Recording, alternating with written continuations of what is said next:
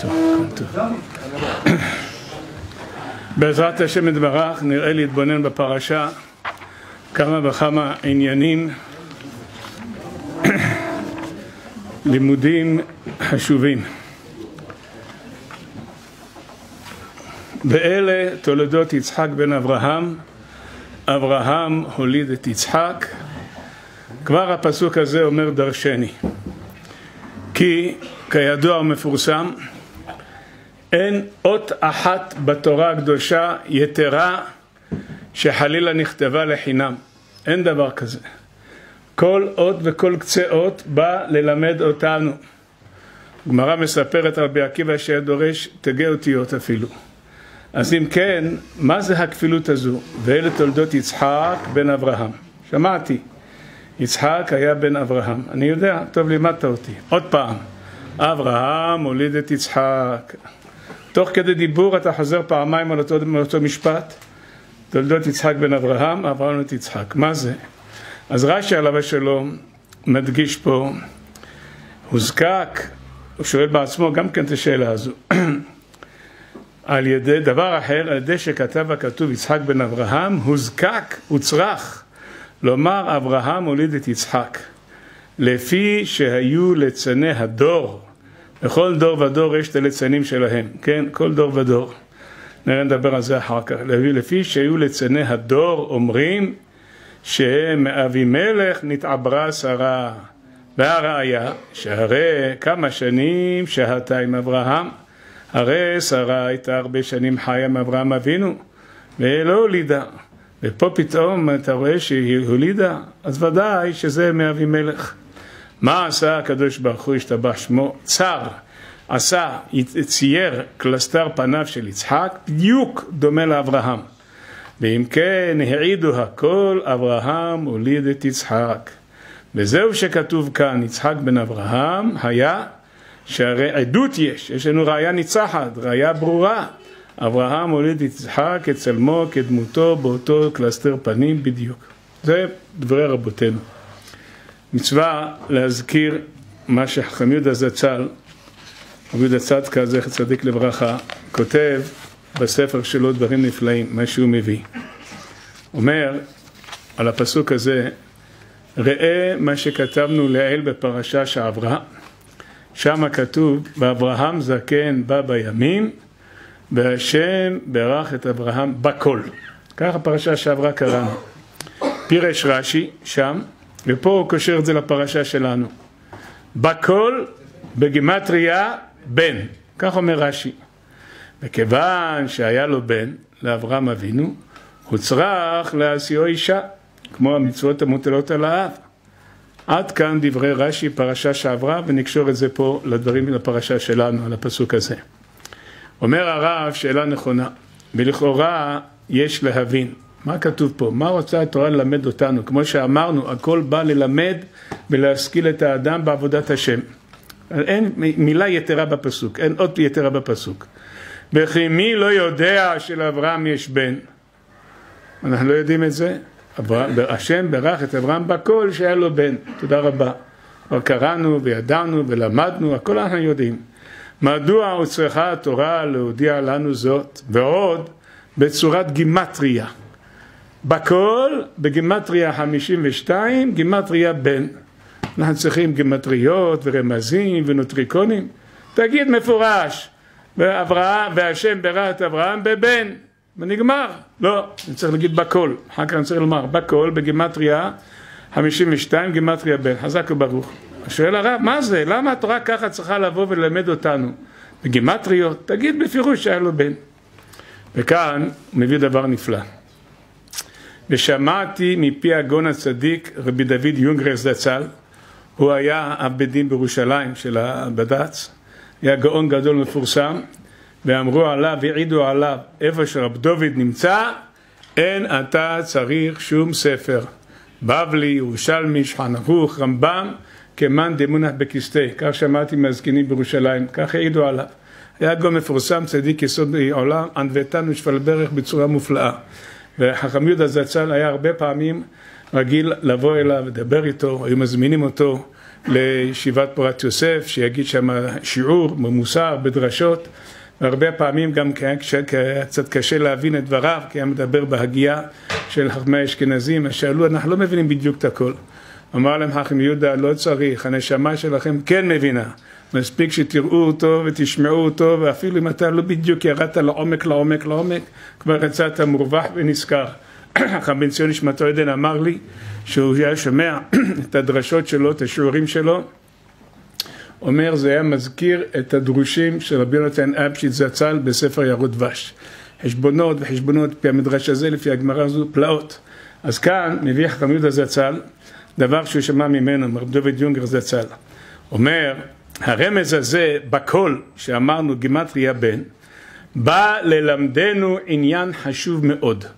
לא בכדי ולא בחינם התורה כתבה את זה ברמז, בנוטריקון, בגימטריה. והוא, צריכים להבין מדוע ולמה לאברהם אבינו לא היה לו בנים בתחילה עד שבאו המלאכים, קראנו פרשה שעברה, ואז בירכו אותו ואמרו לו בשנה הבאה יהיה לך בן וכולי. אומר, מה זה? למה היה צריך את הבשורה הזו שיהיו לו מלאכים, שיבואו המלאכים ויעידו לו שיהיה לו בן? וגם רק בזקונם, כשהיה זקן מופלא, קרוב למאה תשעים ותשע, ובדרך נס, כמו שאמרה הגמרא, דיברנו על זה בשערים שעברו. אומר הרב, תראה, תסתכל על שאר בני אדם, שאר הבריות בעולם. יש להם בנים, בלי טורח, בלי מלאכים שיבואו אליהם ויעידו להם ויגידו להם. אז איך זה? אברהם אבינו, אברהם אוהבי, שהקדוש ברוך הוא אהב אותו, שדיברנו הרבה בשם החתם סופר זצ"ל ועוד, אז היה צריך את כל הזה נס להוליד בן, בשביל מה? כולם, אדם נושא אישה, אחרי איזה זמן יש לו ילדים. פה לא, תחכה עד גיל 99, ואז אותו דבר בפרשה שלנו. יצחק אבינו צריך בהמשך, ויעתר יצחק להשם נולך אשתו כי העקרה היא ויעתר לו השם ועתה רבקה אשתו. אומר גם זה לא מובן. ויצחק אבינו היה צריך לתפילות שלו ושל רבקה עמדו והתפללו והתחננו ויעתר, עוד מעט נדבר על זה, בשביל להוליד את הבן. כל אחד נושא אישה, אחרי איזה זמן הקדוש ברוך הוא נותן לו ילדים. מה קרה פה? למה צריכים פה ניסים ונפלאות ומלאכים? אומר הרב דבר נפלא. כאן הקדוש ברוך הוא השתבח שמו בכוונה עשה כך. למה? כי מאברהם אבינו, האומה, אבי הוא האומה של כלל ישראל, היה צריך לצאת ממנו עם ישראל. כלל ישראל, אנחנו צאצאי אברהם אבינו, הוא אבי האומה של בית ישראל. ולכן רצה השם יתברך שלא יוליד בצעירותו. למה לא? עד גיל מאה. כדי להפסיק את הקשר עם תרח אביו. וגם אמו הצדקת, כן, לא נאריך עכשיו, לא נעים לדבר עליהם. על כל פנים, סוף סוף סבא וסבתא, על כל פנים, היה צריך שיהיה ניתוק בין אברהם לבין הוריו מולידיו. כמו שאומרת המשנה, יבש המעיין נקצץ האילן, שלא תהיה השפעה של תרח, האבא, על התולדות של אברהם אבינו. היה צריך לנתק עד גיל מאה שלא יהיה שום שייכות מטרח ליצחק עקדה שבזכותו הגאולה. ועתה, כשהזקין אברהם, הגיע קרוב לגיל מאה, כבר נפסק הקשר עם האבא שלו, עם כל מה שאבא שלו, הטרח כמפורסם. אז הוליד בדרך נס. ולכן אמר הפסוק, השם ברך את אברהם בקול, ושאלנו, תגיד, מפורש, בבן, למה צריכים בקול וגימטריה בן? תגיד בישר, אתן לו בן. בקול בגימטריה בן, לומר לך, הבן הזה כולו, בקול, כולו של אברהם אבינו, ואין בו שום השפעה מטרח מאבותיו ההם, שום דבר, הכל נותק. ולכן רצה אברהם אבינו להשיאו אישה מבית טוב, כמו שראינו פרשה שעברה, משביע אותו וכולי וכולי. והיינו מה שאומרת התורה אצלנו, אלה תולדות יצחק בן אברהם, אברהם מוליד את יצחק, שאלנו מה הכפילות, אומר למה חזר ואמר אברהם מוליד יצחק? ראינו מה שרש"י הסביר, אומר אבל לפי דרכנו יובן היטב, בא ללמדנו שאברהם לבדו, אברהם הוליד את יצחק. כלומר, יצחק היה כולו של אברהם אבינו, בלי השפעה מהדורות הקודמים, תרח וזרח וכולי. ולא כמו שאר התולדות של הבנים, יש עוד השפעה מהשורש הקודם, מהאבות למעלה, מהסבות וכולי. כאן אברהם לבדו הוליד את יצחק, כל כולו, לכן חזרה התורה וכפלה. אברהם הוליד את יצחק. אין לו שום שייכות לדורות שלפנים, תרח וחבריו. כולו היה של אברהם אבינו. עד כאן דבריו ודברי פי חכם חן. מוסיף חכם יהודה זצ"ל, וכעת ראיתי בספר ברכת חיים, ברכת חיים זה מגאון רבי יוסף חיים זצ"ל, בעל בן איש חי, יש לו ביאור על ההפטרות. אנחנו קוראים את ההפטרות, על כל פנים מדבר על עצמי, קוראים את זה כמו אידרא רבא בליל שבועות, גומרים, יאללה מהר מהר, בלי לשים לב, למה ההפטרה, נגמור, טוב. אבל הבן איש חי זצ"ל לא הניח דבר שלא ביאר ולא חידש ולא הסביר. יש לו ספר שלם על ההפטרות, זה נקרא ברכת, נקרא ברכת חיים. אבא שלי עליו השלום מאוד מאוד היה חביב עליו הספר הזה, אני זוכר. אז שמה, בהפטרה של פרשת מסעי, לא בהפטרה שלנו, פרשת מסעי, כתב הגאון רבי יוסף חיים זצ"ל, בעל בן איש חי, בדיוק כדברים הללו ממש. כמו אותו דבר, אותו רעיון, אותו לימוד מוסר שלימד אותנו הרב דוד יונגר זצ"ל, גם הוא כותב. והוסיף עוד פרט, כי לא רק האבות הקדושים היו עקרים, אברהם וכולי, אלא גם האימהות, כמו שאנחנו רואים בפרשה שלנו, שרבקה, לנוכח אשתו רבקה, כי עקרה היא, וכל האימהות היו עקרות. פלא פלאות, מה זה? כל האימהות צריכות להיות עקרות, שרה עקרה, רבקה עקרה, מה זה? רחל עקרה, למה? אומר הבן איש חי להוסיף גם כן את אותו יסוד, כדי להפסיק את כל הקשר עם אבותיהם, ועל ידי כך יכלו להקים דור חדש שהוא כולו קדוש וטהור, לכן היה צריך לעשות פה עקרה, ואחר כך בדרך נס שיכולה להוליד, פירוש כבר נפסק כל קשר וזיקה וחיבור לדורות הקדמונים, אין לנו קשר אליהם. וזה פירש הבן איש חי זצ"ל את הפסוק בספר ירמיה בפרק ב' ואנוכי נטעתיך סורק כולו זרע אמת. כולו זרע אמת, מה פירוש כולו זרע אמת? שאין בהם, בכלל ישראל, דרך האבות הקדושים, אברהם, יצחק ויעקב והצאצאים, אין בהם תערובת כלשהי מאלה שלפניהם, אין השפעות מהדורות הקודמים. ועל פי זה גם הוא פירש את הפסוק של הפרשה שלנו, אברהם מוליד את יצחק, ממש כדברי הגאון רבי דוד יונגר זצ"ל, משני נביאים מתנבאים בסגנון אחד, זכותם מגן עלינו אמן. עד כאן דבריו העיקריים של החמיד זצ"ל, הפלא ופלא. למדנו מפה יסוד גדול. ועכשיו יובן היטב מה שגם רש"י הביא, שהיו הליצנים שהיו מלגלגים וצוחקים ואומרים מאלימלך, אבימלך, התעברה שרה. ככה אמרו הליצנים. וצריכים אנחנו להבין מי אלה הליצנים, ובכלל מה זה מידת ליצנות. מידה רעה מאוד. פעם הארכנו בדברי המסעד ישרים, איך שהוא כותב על זה נוראות, על המידה הזו. מה זה גדר ליצן? ליצנות זה לא מה שאדם חושב, יש אחד שהוא אדם שמח, הוא משמח בני אדם, פה אומר איזה מילה, פה אומר איזה מילה בדיחותא, לאו דווקא. סיפרתי שראיתי פעם בספרו של הגאון חיים פלאג'י זצ"ל שהוא כותב על, מין, על מישהו, הוא כותב עליו שבחים. תוך השבחים שהוא כותב, הוא כותב עליו, והוא בדחן כשר, כך הוא אומר, אתה מבין? הגדרה, בדחן כשר. אדרבה, זה יכול להיות הרבה פעמים שהוא מוסיף חיים לבני אדם. ככה, כמו הגמרא המפורסמת במסכת הענית, גמרא קורעת לב, קורעת לב. שם כתוב שאליהו הנביא היה מהלך בדרך בשוק הדלפת, איזה עיר בבבל, אני לא יודע איפה זה, ושם היה המורה הקדוש רבי ברוקה, ושאל אותו, את אליהו הנביא, הנה פה אנחנו בשוק, תראה כמה אנשים הולכים, מלא, שוק מלא אנשים. מי כאן הוא בן העולם הבא? מה הייתה התשובה הנוראה של אליהו הנביא? אין. אין. אין אף אחד. מה זה? פה כולם, אנשים, מי יודע כמה היה שם, עשרות, מאות, אלפים, אינני יודע. אין אחד בין העולם הבא? אומר לו, אין. פחד פחדים. עוד אבאר את המאמר הזה. אחר כך אומר לו אליהו הנביא זכר לו טוב, כמו כולם מכירים את הגמרא הזו. אתה רואה? באים שני אחים, הם בני העולם הבא. אה? רק השניים האלה? רץ הרב, האמורה הקדוש רבי ברוקה רץ אליהם, ואמר להם, ספרו לי קצת עליכם. ספר לי, זה לדעת איך נהייתם בני העולם הבא. אמרו לי, ענן גברא בדיחי ענן. אנחנו בני אדם שמחים ומשמחים.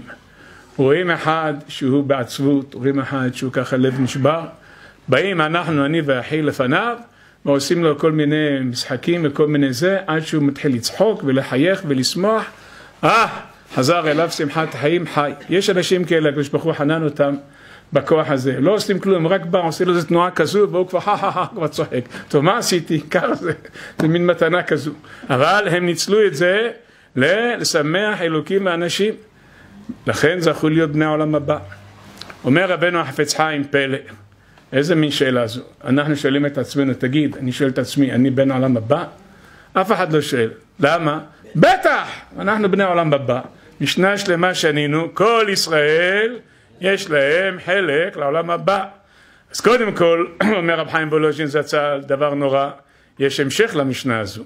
מה? ואלו שאין להם חלק לעולם הבא, זה לא אומרים. את הקדיש אומרים רק על הרשע של המשנה. אז מה? אז מה שאל אותו מי פה בין העולם הבא? אומר החפץ חיים זצ"ל, יש הבדל בין יש לו חלק לעולם הבא ובין בין העולם הבא. והסברנו את זה פעם, והוא מביא גם בדרך משל, יש אדם, גביר גדול, שזוכה לחתן את בנו בשעה טובה ומוצלחת, יהי רצון של כל אחד שנצרך בזה, הקדוש ברוך הוא בעזרו בקרוב, חתן את בנו לחיים טובים משלום. הוא האבא של החתן, והחתן נמצאים שם, וגם המחותן השני, האבא של הכלה, וכולם שמחים וששים וכולי, ועושים סעודה גדולה. זו סעודה של מצווה, חתן, ויושבים ואוכלים. ויש אנשים שתמיד תראה אותם שהם מדקדקים לאכול רק מסעודה של מצווה. כל פעם שיש איזו חתונה, או בר מצווה, או זה, הם בא, מוצא לו שם איזה שולחן, ויושב ואוכל. הוא מדקדק לאכול דווקא מסעודה של מצווה, ואם יש כמה סעודות, אז הוא יהיה אצל כל הסעודות, יש כאלה, בסדר. כל פנים, זה אוכל וזה אוכל. בוא תשאל, החתן או אביו או המחותן השני שאוכלים, הם אוכלים בדרך שהם באו בדרך אגב ונכנסו, מצאו פה סעודה ואכלו, מה הפירוש? אנחנו, אנחנו פה בעלי השמחה, החתן שאוכל פה בזכותו כל השמחה הזו וכל הסעודה הזו. וההוא שבא וישב שם בצד ואכל מנה או מנה כפולה, לא יודע בדיוק, על כל פנים הוא ככה בא. אומר הרב, זה החילוק. יש אחד הוא בן העולם הבא, בא לשם כמו בן לחתונה, הכל בזכותו והכל בשבילו. ויש אחד שיש לו לעולם הבא, בסדר, בא, אוכל מנה גם כן, בסדר, אבל ההבדל בין זה לזה הוא הבדל מהותי. על כל פנים, רואים פה את העניין הזה של ליצנות זה לא כמו שאנחנו חושבים אחד שהוא מתלוצץ. אז מה זה בדיוק? אתה רואה שאפשר גם לעשות את זה מסתרה דקדושה, שהוא גברא בדיחה ושמח אנשים ואלוקים והשראה. אז מה זה גדר הליצנות? פירשו רבותינו על פי הפסוק. לץ תכה ופתי יערים. כך אומר הפסוק במשלי. דרשו במדרש שמות רבה, לץ תכה, מי זה הלץ? עמלק. או, איזה מכות קיבל. או, ויחלוש יהושע, מלמד שהיה חותך ראשי גיבוריו. לץ תכה, הכו אותו מכות נאמנות. ופתי יערים. מה זה פתי? פתי שעדיין אין לו כלי חוכמה גדולים. הוא יערים, הוא מקבל עורמה וחוכמה, דעת ותבונה. מי זה? זה יתרו. כשיתרו ראה מה שקרה לעמלק, אז הוא אמר ככה, אני בא ומצטרף לבית ישראל. לכן הסמיכות פרשת בשלח לפרשת יתרו. מה ראה יתרו? אחרי שהוא ראה מלחמת עמלק ומה שקרה שם, אמר עד כאן, אני בא ומצטרף לבית ישראל, ויהי חד יתרו, ויהי עד יתרו, שנתגייר. אז לץ קיבל את המכות הנאמנות, ומזה נתעורר השני, הפתי, שלא היה בר דעת גדול כמו בתחילה, נהיה הערים, קיבל עורמה וחוכמה. אז מה זה הגדר לץ? לץ, כמו שאמרנו, וככה מפרשים רבותינו על פי רבנו יונה, זה המזלזל בדברים אמיתיים. זה לא צריך דווקא דרך בדיחה, יכול אפילו במשפט אחד, ולפעמים אפילו בתנועה. מדברים איזה דבר חשוב, עושה ביד, אה, נגמר. המקרר מעבודת השם, המזלזל בדבר אמיתי. לפעמים זה יכול להיות, כמו שאמרנו, במילה, בתנועה, איזה חיוך, כבר, כבר קלקל את הכל. זה היה עמלק, שבא לקרר, קפץ לאמבטיה רותחת, נכון, נשרף, נכווה בכל גופו, אבל קירר את האמבטי, שרקה רחה בדרך. זה גדר ליצנות, הליצן הוא המזלזל, המבטל דבר אמיתי, דבר חשוב. זה גדר ליצן, וצריך להיזהר מזה הרבה הרבה, כי תחילתה, כמו שאומרת הגמרא, לא רוצה להזכיר דברים חמורים מאוד מאוד, סופו השם ירחם.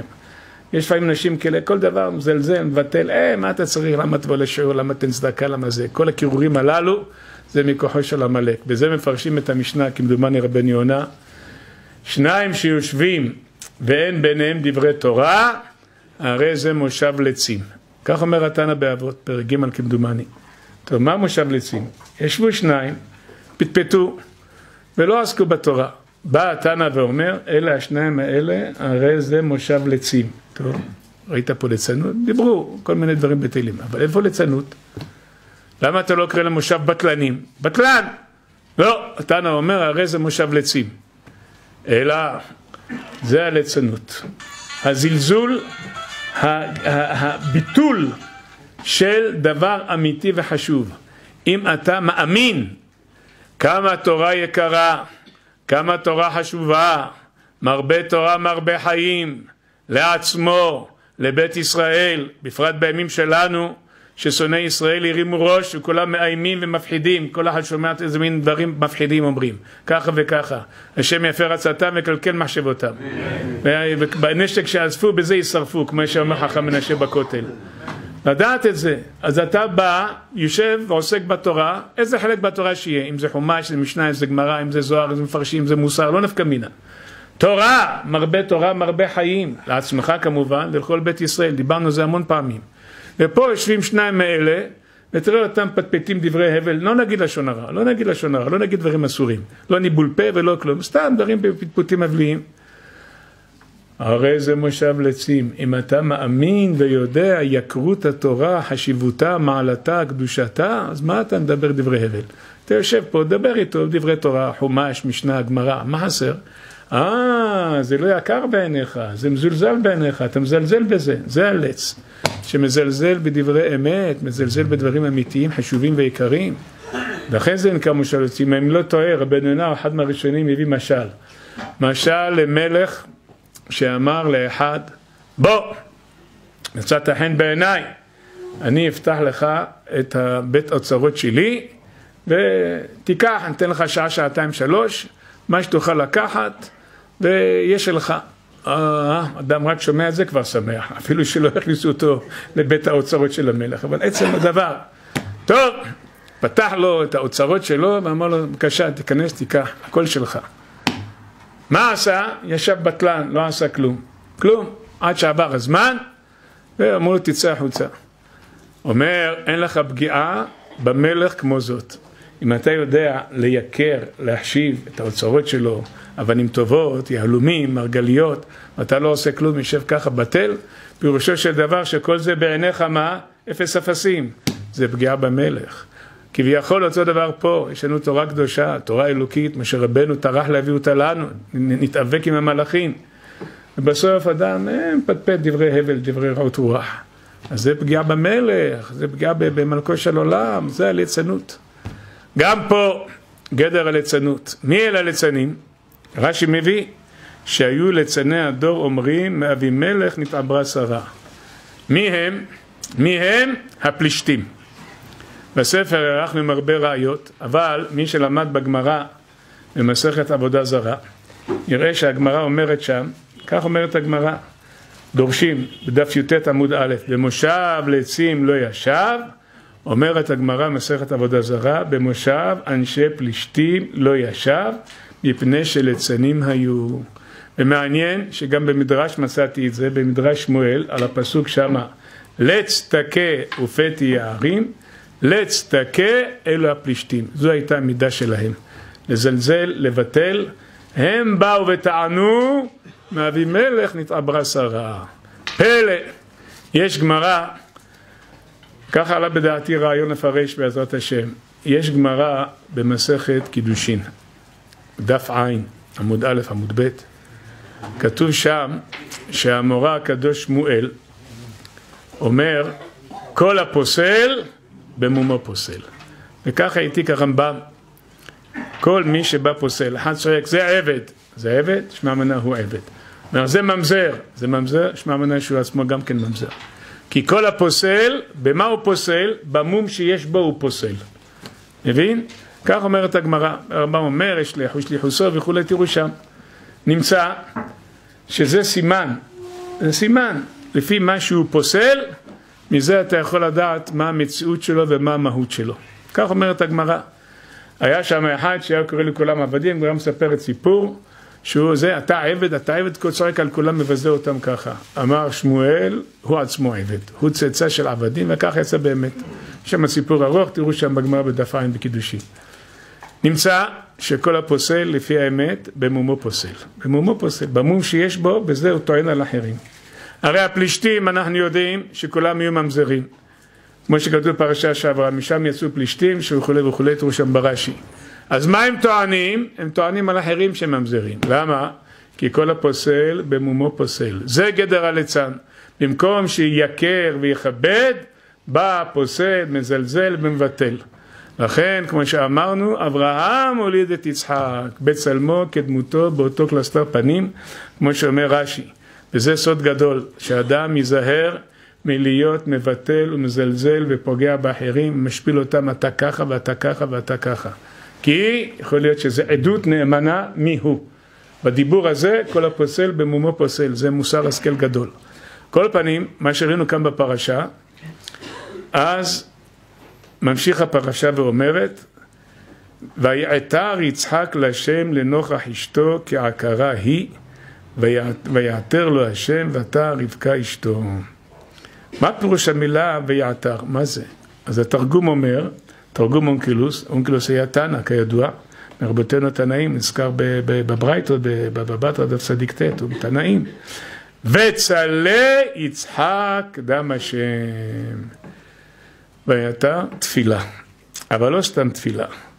אומר רש"י, מרחיב את הדברים, הרבה והפציר בתפילה. תפילה רבותיי, יסוד גדול לכולנו. כל אחד ואחד. אמרו במדרש שאין הקדוש ברוך הוא פוסל תפילת כל נברא. מי כן פוסל? אנחנו. למה?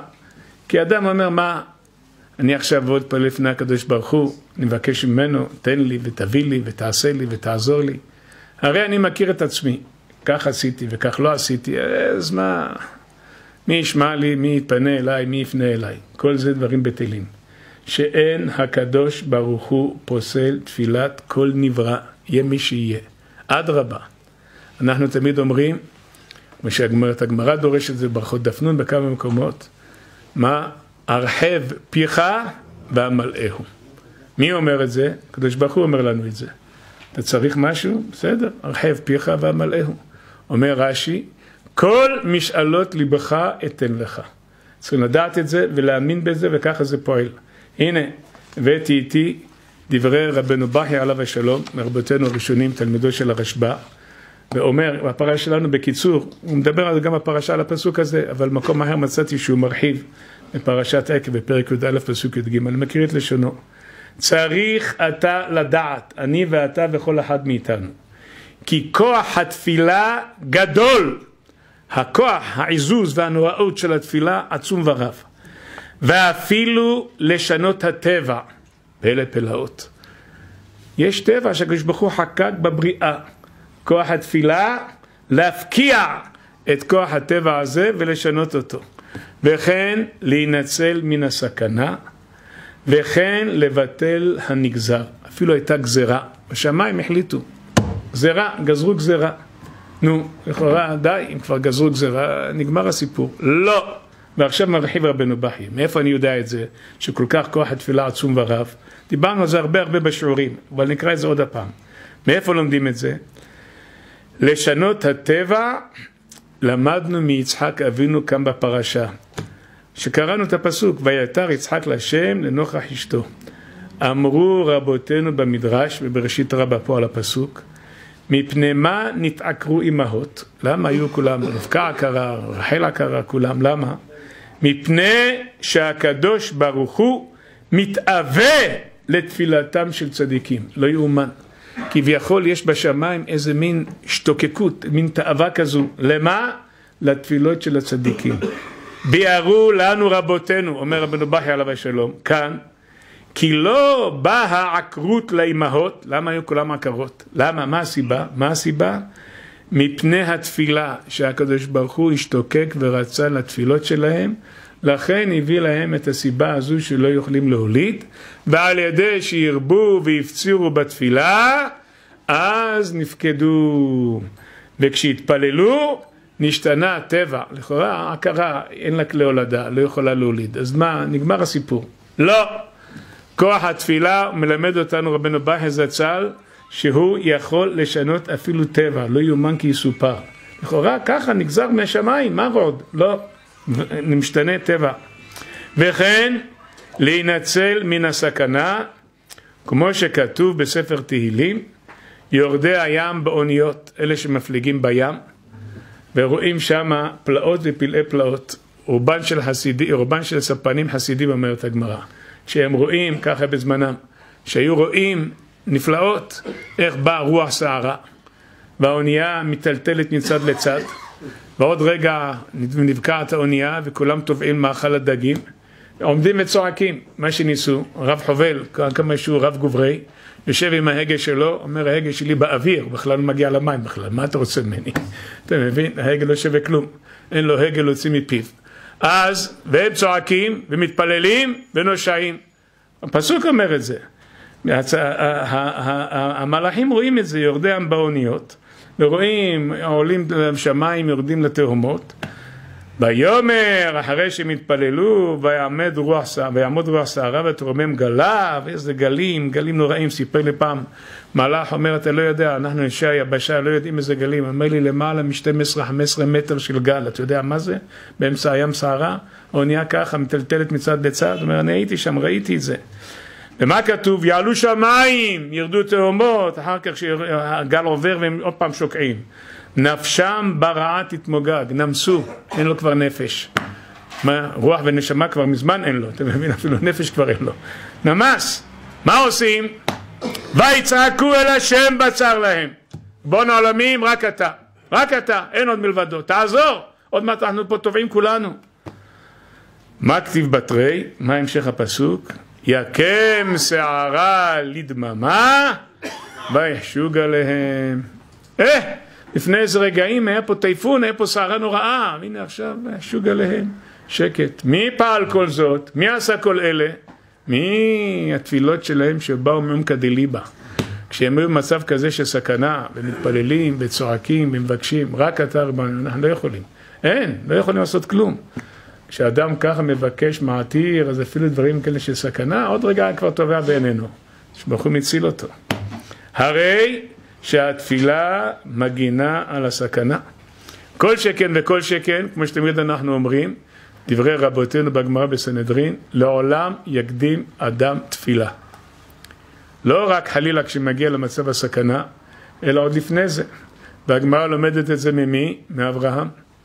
אברהם אבינו, בפרשות שעברו, כשהוא מגיע להי, בנה שם מזבח, בא להתפלל וכולי.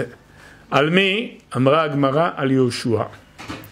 יהושע היה הרב אולי 500 שנה בערך, בא לכבוש את ארץ ישראל, ושם בעי הייתה מפלה, בגלל מה שעשה החאן וכולי, ואלמלא, אומרת הגמרא, אלמלא תפילתו של אברהם אבינו שהקדים וראה מה עתיד להיות, חס, וחל... חס ושלום לא היה נשאר שריד משונאי ישראל, מלשון סגי נאור.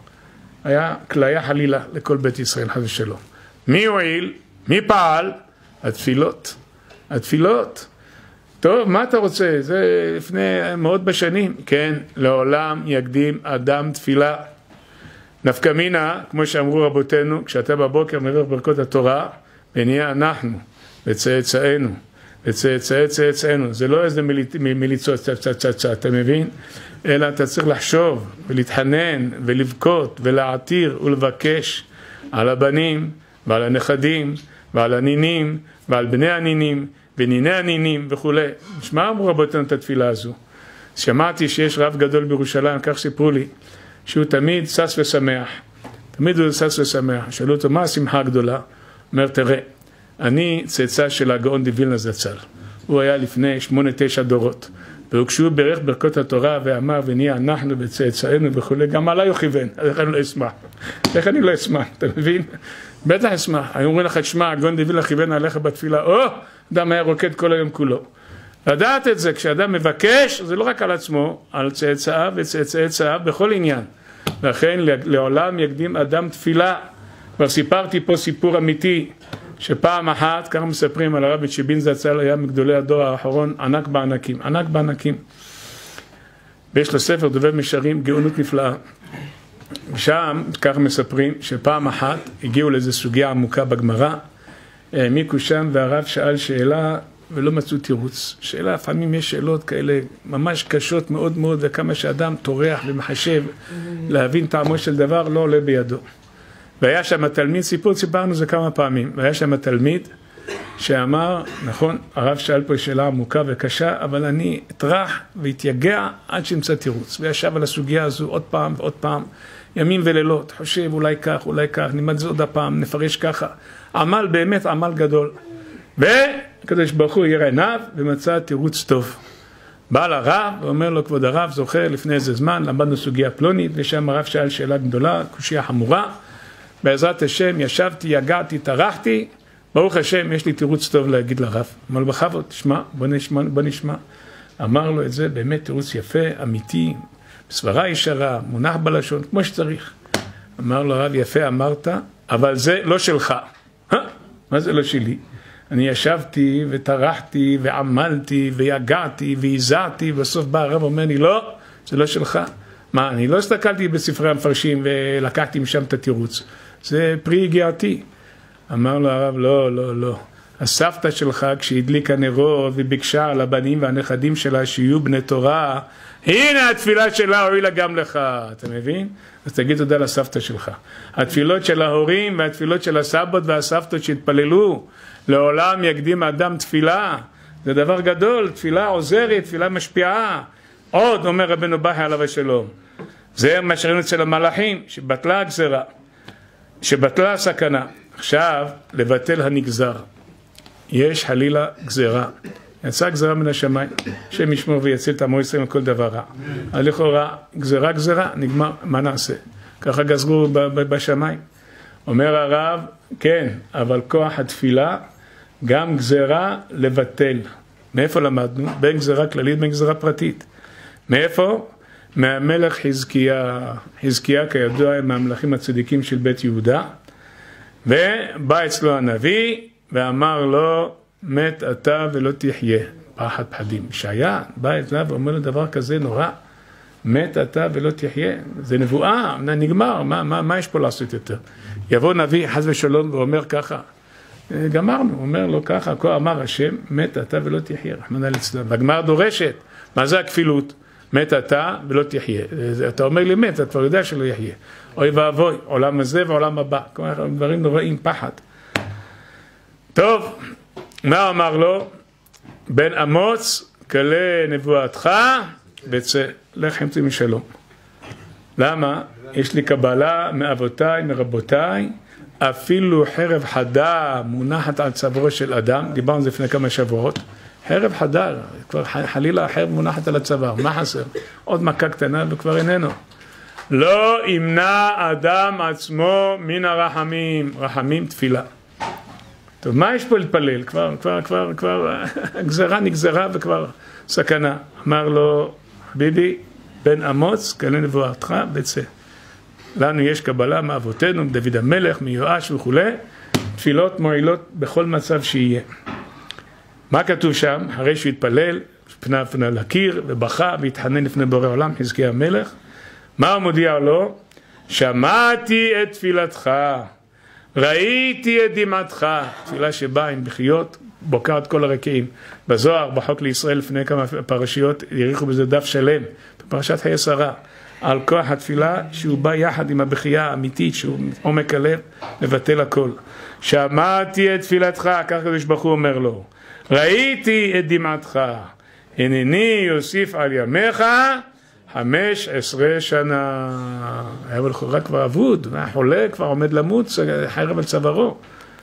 אתה תקבל תוספת חיים עוד חמש עשרה שנה. חמש עשרה שנה של חזקיה המלך הצדיק, מי יודע, מיליוני מיליוני מעשים טובים ומצוות עשה. מיליונים מיליונים.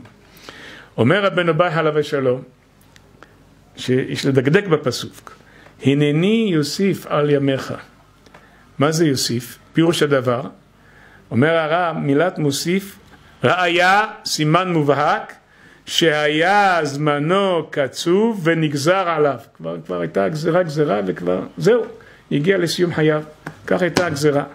אבל מוסיף, פירושו של דבר, נותן לך תוספת על מה שהיה. והועילה התפילה לבטל הגזירה. אפילו מה שנגזר, כוח תפילה של כל אחד עצום ורב, ולהשתמש בדבר הזה. ואפילו מה שנגזר עליו מן השמיים, גזרו עליו, נגמר הסיפור. לא, אפשר, אפשר לו להתבטל בכוח התפילה. הוא מה שאמרה הגמרא, אמר לו חזקיה לישעיה בן אמוץ, כלה נבואתך וצא, כך מקובלן מבית אבי אבא, אפילו חרב מונחת על צווארו של אדם, אל ימנע עצמו מן הרחמים. ואמר בספר איוב, הן יקטלני ולא היחל. אפילו במצב כזה שכבר מיטה, כבר די נגמר, הנה כמו פה, כבר נגזר עליו, כבר לא די נגמר סיפור. לא, לא היחל, אני מייחל ומצפה לישועת השם בכוח התפילה. הודיע לנו כאן, עוד חידוש, שהתפילה, שהתפילה כוח התפילה, למעלה מן הנבואה. אפילו נביא בא ומתנבא, הוא מתנבא לפעמים שקיבל, שהראו לו מן השמיים. אבל כוח תפילה עצום ורב, מעולה ועליון על הנבואה, מעלתה רמה ונישאה. נפקא מינה לכולנו. זה לא רק על ישעיה וחזקיה, אלא על כולנו. שהאדם לא יבטל עצמו מן התפילה, בין תפילת הציבור, בין תפילה פרטית, יבקש ויעתיר, ולא יאמר מי אני ומה אני ומה התפילה שלי שווה ומה עשיתי וכולי. אין הקדוש ברוך הוא פוסל תפילת כל נברא. סיפרתי פה הרבה פעמים מעשה שהיה, נכנס אצלי יהודי, אולי לפני 20 שנה, 25 שנה, אינני זוכר, ובא, התחיל לספר לי, כך הבעיה שלו וכך יש לו צרה כזו ומצוקה כזו, אמרתי לו, חביבי, מה אתה רוצה ממני? מה אני יכול לעזור לך? אני לא שווה כלום, מה אתה רוצה ממני? אבל עצה אני יכול להגיד לך, עצה של רבותינו, תתפלל, תצעק, תפנה לבורא יתברך. מה אמר לי? סיפרתי את זה. אומר לי כבוד הרב, אתה לא מכיר אותי, ואתה לא יודע מה אני עשיתי, והתפילות שלי, כך הוא אמר לי, יגיעו עד התקרה ושם יעצרו. יגיע, יעלה, יעלה, יעלה, עד התקרה ושם זה יעצר. אמרתי לו, אין בעיות, אתה תתפלל ברחוב, שם אין תקרה, ושם יגיע עד כיסא הכבוד. איזה דברי הבל, איזה דברי הבל, דברים בטלים, איך היצר למדן. אתה כזה עשית וכך עשית, זה ייתקע פה. שקרים, אין הקדוש ברוך הוא פוסל תפילת כל נברא, לדעת את זה. זה מה שאנחנו לומדים פה בפרשה. הנה מצב של עקרות, די נגמר הסיפור, מה? הקדוש ברוך הוא יש לו כללים שלו, התפילה שלך יכולה להעלות את האדם למציאות אחרת, זה כוח התפילה, מה זה תפילה? מאיזה לשון זה? אומר, אומר המשגיח זצ"ל, אור יחזקאל, רבנו הגדול זצ"ל, אומר תפילה מלשון נפתולי אלוקים נפתלתי, בפרשה הבאה. מה זה נפתלתי? נתחברתי, נתחברתי, על ידי כוח תפילה אדם מתחבר לבורא יתברך, וממילא, כמו שאומר רבנו בחייה, המעלה של התפילה לגבוהה מדרגת הנבואה, מכל הדרגות כולם, הוא כבר עלה. שואל רבנו בספר העיקרים מביא, איך באמת תפילה פועלת? מה זה? מה זה? מה זה? למה זה? אומר, יצא גזירה על ראובן, שכך וכך יהיה חלילה, כן? ברגע שהוא מתפלל, הוא מתעלה ממדרגתו, מתחבר לשמיים, לבורא יתברך, אז הגזירה שהייתה על ראובן זה על המצב הראשון, אבל עכשיו הוא כבר מצב אחר לגמרי, הוא עלה ונתעלה רום המעלות, אז אם כן, הגזרה לא הייתה עליו, לכן היא מתבטלת. זה כוח התפילה, לרומם ולקדש את האדם ולרומם אותו עד, כמו שאמרנו, לשון חיבור, חיבור עם הבורא יתברך. לדעת את זה ולא לזלזל. כל תפילה פועלת, כל תפילה נשמעת, יהיה מי שיהיה. ככה זה. לכן לעולם יקדים אדם תפילה וידע שזה הנשק. לא כמו שאדם יש לו איזה בעיה. חלילה, לפעמים יש איזה בעיה, איזה צרה, אז הוא מתחיל לחשוב, מי יכול לעזור לי, מי יכול לעזור? אה, ראובן. ראובן הוא גיסו של שמעון, ושמעון הוא גיסו של דודו חורגו של יהודה. ואם כן, הוא יש לו קשרים, וממילא אני אוכל. רבותיי, כבר אמרנו אלף פעמים ואחת בלי גוזמה. אפילו בשבת מותר לעשות את זה. למה? כי זה קשר לא של קיימא, אתה מבין? כל הדברים האלה דברים בטלים ומבוטלים, לא ככה פותרים בעיה. תפנה ישר לבורא יתברך, וכך היה רבנו הגדול החזוני של הצל, היה מנהגו, שהיו באים אליו, כל דבר, אומר הקדוש ברוך הוא רוצה שתתפלל. כנראה שכחת את הדבר הזה, שיש בורא לעולם, שהוא המנהיג, תודה רבה. הוא העושה והוא יעשה, תפנה ותתחנן, וכשככה רואים, כל אחד יספר לך שבמשך חייו היו דברים כאלה, שהיה פעם באיזה צער, באיזה מצוקה, והתפלל מעומק הלב ובחירות תחנונים וזה הועיל, זה מה שלימד אותנו התורה, ושמה כתבה את זה? ללמדנו את הדבר הזה. ואחר כך, לסיום, יש לנו פה את שני גויים בבטנך, עשיו, יעקב וכולי, ועל מילה אחת אני רוצה רק לדבר. ויאמר עשיו, כשחוזרים וכולי וכולי, אני מקצר, ויאמר עשיו אל יעקב, הלעיתני נא מן האדום האדום הזה, כי עייף אנוכי, על כן קרא שמו אדום. לסיום אני רוצה לדבר על הפסוק הזה קצת. אומר רש"י, הלעיתני, אפתח פי ותשפוך הרבה לתוכה. שומע? השם ישמור. אני פותח את הפה שלי, ואתה תיקח את הסיר, ותשפוך את הכל לתוך הפה שלי עם הסיר. מה שבטוח בטוח, אתה מבין? הלעיתני, כמו ששנינו במסכת שבת, אין אובסין את הגמל, אבל מלעיטים אותו. גמל זה בחינה של עשיו, עכשיו אין לנו להאריך בזה. על כל פנים, הלעיתני. למה אני רוצה לדבר על המילה הזאת? תשמע דברי רבנו החזון איש זצ"ל. הוא כותב פה לאדם שרצה לעלות ולהתעלות בתורה, להיות בן תורה אמיתי. מכתב שנתפס בקובץ איגרות של רבנו חזון איש אחרי פטירתו. אספו כל מיני איגרות ומכתבים שהוא כתב בכל הנושאים, הדפיסו מזה שלושה כרכים, שמעתי שיש עוד. כל פנים דברים נפלאים, לא אני האפס לבוא לשבח רבנו הגדול החזון איש זצ"ל, אבל כל, מילים, כל מילה פה זה ממש מרגלית, כאילו רין לעיניים. אז הוא כותב לאחד שרצה באמת להיות תלמיד חכם, להיות בתורה אמיתי. כותב לו סדר, איך, במה להתחזק, במה להתעלות. דבר ראשון, כותב לו, תיזהר מאוד מאוד מאכילת תענוג. הלעיתני, זה תולדות של הלעיתני. אם, אומר לו חזון איש, בטומאת הגוף יש ראשון לטומאה ויש אב הטומאה ויש אבי אבות הטומאה. ידוע בכללי הטומאה, ככה לימדו אותנו, לימדה אותנו התורה, למשל המת הוא נקרא אבי אבות הטומאה. מי שנוגע בו נהיה אב הטומאה. אב הטומאה עושה ראשון, הוא נוגע בדבר אחר הוא נהיה ראשון. בתרומה אז גם כן יש עוד כללים יותר, שני עושה שלישי וכולי. בקודשים שלישי עושה רביעי, יש בזה כללים, יש אבי אבות ויש אב ויש ראשון ויש שני וכולי.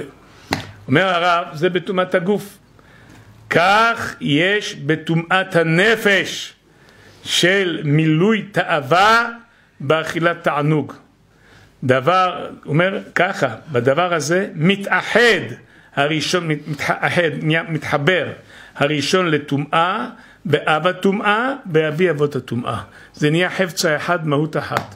מי, מי התאווה הזו של אכילת תענוג. יש אחד שהוא אוכל, באמת צריך לאכול, מה יעשה? ימות? אבל יש אחד שיש לו עניין הזה של אכילת תענוג, הלעיתני כזה, אתה מבין? כבר אמרו הקדמונים, יש שני סוגי בני אדם. יש אחד שהוא אוכל על מנת לחיות, ויש אחד חי על מנת לאכול, אתה מבין? כל אחד ישים את עצמו איפה שהוא צריך להיות. על כל פנים, אומר החזוני, תיזהר, זה המכלה היותר גדול ללימוד התורה. מתאחד פה הראשון והאב והאבי אבות ואוי ואבוי, האכילה הזו לשם תענוג, סתם, אפילו לא בשביל רעי וכיוצא בזה, תענוג האכילה. ודבר זה הוא מן השפלים מאוד המעכבים את הלימוד. ואחר כך כבר אומר למה אין לו חשק ללמוד, למה זה? וכך אמרו במדרש, הביאו אותו התוספות במסכת כתובות דף קד. מה כתוב שם? עד שהאדם מתפלל שייכנסו דברי תורה לתוך גופו, יתפלל שלא ייכנסו מעדנים לתוך גופו. אני לא אומר שלא יאכל, בסדר, צריך לאכול, אין לו כוח. אבל לעשות מזה פולחן ולעשות מזה עניין, ולעשות ככה, ולדבר על זה, ולפלפל בזה, וככה זה, ומסעדה כזו וזה, זה כבר אכילת תענוג, אומר הרב, זה לא טוב. ואמרו במסכת גיטין, סעודה שנתך ממנה, משוך ידך ממנה. אם יש סעודה שהוא כל כך נמשך וכל כך מתענג מזה, אז תמשוך ידך, זה עצמו, כמו שאמר הראב"ד, זו תענית הראב"ד, וזה עולה לו כמו צום וכפרה וכולי. יש להעריך בזה, רק אמרתי בקצה המזלג, על הנקודה הזו, שאדם ידע, זה הלעיתני. זה היום שהכוח הזה של עשיו, הלעיתני. תשפוך את הכל, לא תשאיר כלום, רעב, רעב, רעב. כך אוכלים. כלומר, גמל אתה. לדעת הדברים האלה, זה חשוב ביותר. אחר כך אדם שואל למה אין לו הנאה מהלימוד, ולמה הוא לא מצליח להתפלל, ולמה זה. אם חלילה אב הטומאה, ואבי אבות הטומאה, ואב הטומאה, והראשון פה, אז איך, איך יהיה רוחניות? לכן הדבר הראשון שמזהיר אותו החזון איש לאותו אחד שרוצה להתעלות בתורה, להיזהר מאוד מאוד מאכילת תענוג. כבר סיפרתי פה על הגאון מצאנז זצ"ל, בעל הדברי חיים, בדורו היה מהגדולים הגדולים בתורה, בחסידות, בעבודת השם, ושאלו אותו פעם אם הוא אוהב פלפל. יש אחד שואל אותו, אוהב פלפל. אמר, פלפל אני אוכל, את הקדוש ברוך הוא אני אוהב. אצלנו התבלבלו המושגים, אתה מבין? התבלבלו המושגים, זה אוהב אוהב. אני אוהב דגים מאוד מאוד. והראיה שאני יכול לאכול שני סירים, חזק וברוך, אז את הבטן שלך אתה אוהב, לא את הדגים. אם היית אוהב דגים, היית שומר אותם מעצמך, אתה מבין? שלא תיגע בהם לרעה. לא, אז שהתבלבלו המושגים, את הקדוש ברוך הוא אני אוהב. אוכל, שמע אני אוכל, בסדר, צריך, אם לא, אין לו כוח, איך יעסוק בתורה, איך יקיים מצוות. צריכים את זה, אבל שזה יהיה הפולחן וזה יהיה העיקר. הפלואץ קורא להם הולך על גחון. אצלו הגחון, הבטן, זה אצלו מרכז החיים. לא להשגיח ולהיזהר בדבר הזה, הנה תראה מה ליתני מה עד איפה הגיע. עשיו הרשע, לדעת ולהיזהר בדברים האלה. שאדם ידע את הכללים, השם בעזרנו נזכה כולנו לגאולה שלמה, תשובה שלמה, בשורות טובות, ישועות ונחמות. אנחנו וכל ישראל